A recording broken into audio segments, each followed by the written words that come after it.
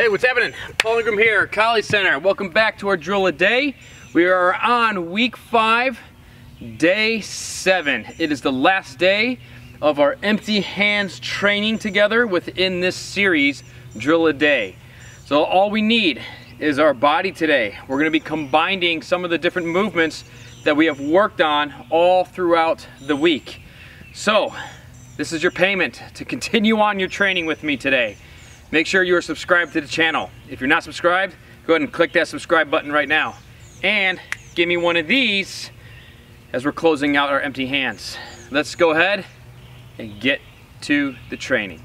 Today's combination, we're bringing together the different aspects of the empty hands that we worked on throughout the week. So today's drill consists of a combination and uh, we're gonna call it seven movements. Even though there's technically nine movements, but we're gonna call it seven movements. We're gonna start this off with the left lead. Okay, we're gonna go into what's called our gunting, okay, right here. When we solo train the gunting, you can do it like this, but sometimes we do it as like double number one parries right here. That way we're learning to not overextend our hands. We don't want our hands to go past the shoulders. So I'm gonna step out on that left 45. There's a little bit of footwork here.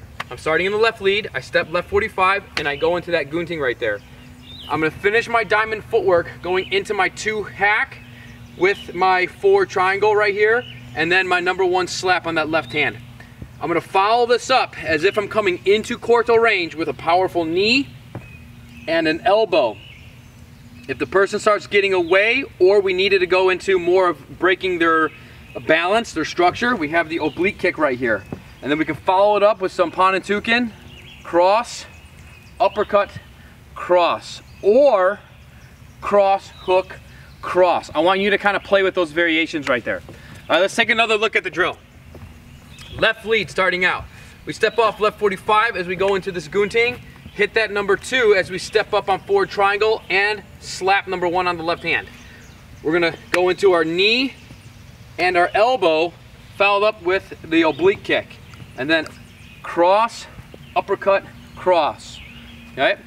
So let's count out the movements. Make sure we got all the movements. We count them as seven, even though there's nine movements. Let's count them out. So we have one, two, three, four, five, six, and then this combination we count as one, which is seven right here.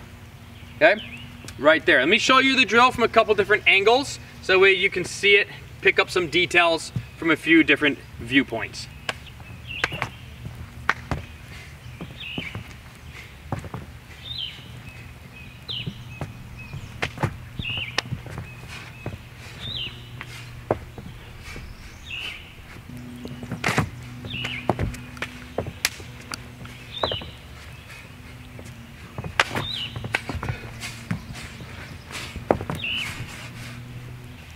Let's work this one out together nice and slow. So let's go ahead and get round one in together. We're gonna work it out 10 repetitions. Remember, 10 reps equals one round. So we're gonna get round one done together.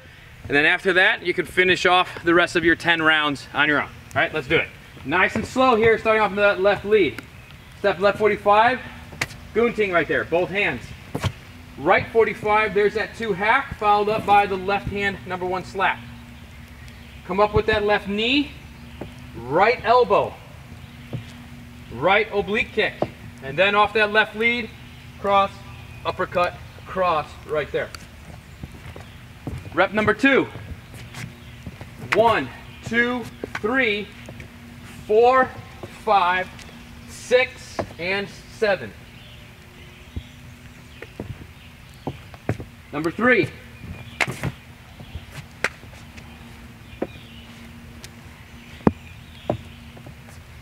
Can even put the hook in there if you want.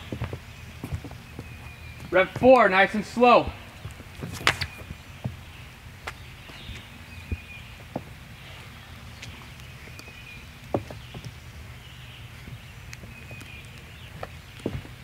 Rep five.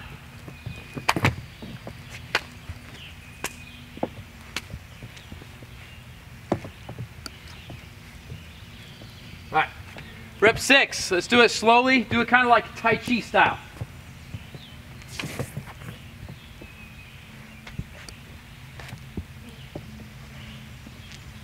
slow and smooth.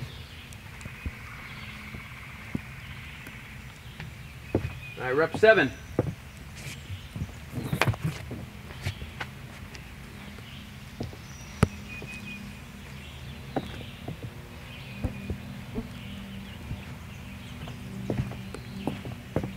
Eight, just a tiny bit faster. Still focus on smoothness. Okay?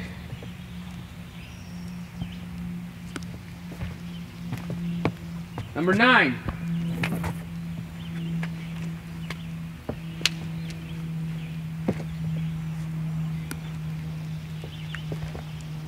Number 10, if you make a mistake, it's not a big deal. Just don't count that rep. Okay, just do it all over again. Right, number 10. Boom. Uh-oh, I made a mistake. Darn it. Oh, I gotta do number 10 all over again. Okay, it's okay. Boom. Bam. Ah. Right there. All right, let's do two more for good measure, just to have some fun with it, get a few extra reps in for round one, and just kind of speed it up just a little bit more.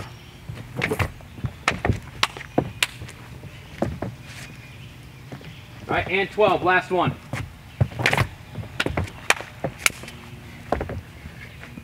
There you got it. Drill seven week five on the empty hands, combining the Panantukan, the closed fist stuff, the Pangamut, the open fist, the close quarter heavy artillery of elbows, knees, some of the parry system, some of the uh, kicking, the Sikaran, uh, and we can combine all this into one drill. Now, if you are feeling extra beast mode today, what I want you to do is once you finish your 10 rounds in the left lead, see if you can merit and do 10 more rounds in the right lead. I want you to have to do the work to figure that out. So that way you gotta put some thinking into your training. That's one thing to just be instructed movements, but then we have to be able to deconstruct and then reconstruct things as practitioners.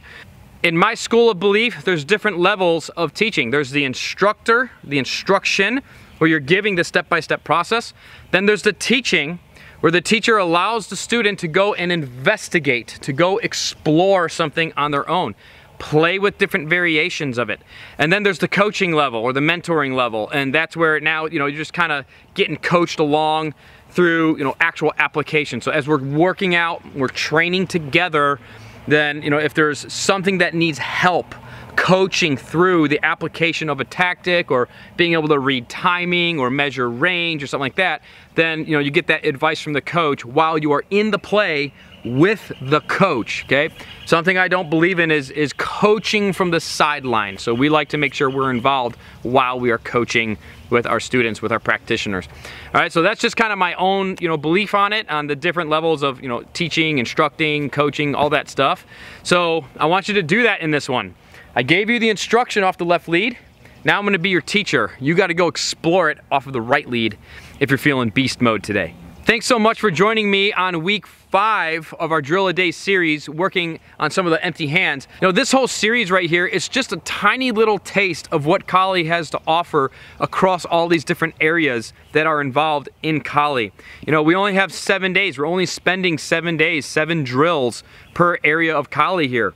So if this drill a day series is driving a lot more interest for you to study Kali at a much deeper level, head over to KaliCenter.com and check out our further training materials that we have available for you over there. We have a lot of our training courses, our DVD downloads, we have our Apex coaching program that's available. I got a, a, discount code to some of our programs and DVD downloads and all of our training materials down in the description box below. So go check that out. Take advantage of the discount if there's anything that you see that you'd like to grab and train the material and continue your study deeper in the art of Kali with us here at Kali Center. All right guys, I will see you back here tomorrow for week six. Can you guess what we're gonna be training on week six? It is the absolute, listen carefully, it is the absolute number one most important skill in Kali. Probably in all martial arts, but especially in Kali. Can you put in the comments below what you think next week's training is gonna be all about? And then also comment below once you finish your 10 rounds, done for today's drill, and I'll see you back here tomorrow. So remember, get outside. It's raining on me right now. Don't have excuses, guys. You gotta get outside and let nature be your Kali Dojo. See you tomorrow.